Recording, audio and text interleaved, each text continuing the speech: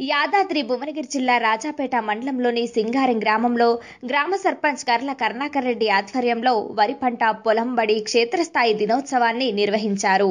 ఇక ఈ కార్యక్రమంలో డిఏఓ అనురాధ ఏటీఎం మాధవి ఏఈఓలు నారాయణ అంజయ్య ఆత్మ చైర్మన్ మేక వెంకటేశ్వర్ రెడ్డి ఆత్మ బీటీఎం ఎం మమత ఆత్మ సభ్యులు M Ramulu M Rani P. Ramulu మరియు సింగారం గ్రామ సర్పంచ్ కర్ల కర్ణాకర్ రెడ్డి గ్రామ ఉప సర్పంచ్ గ్రామ వార్డు సభ్యులు పొలంబడి రైతులు గ్రామ రైతులు గ్రామ ప్రజలు తదితరులు పాల్గొన్నారు.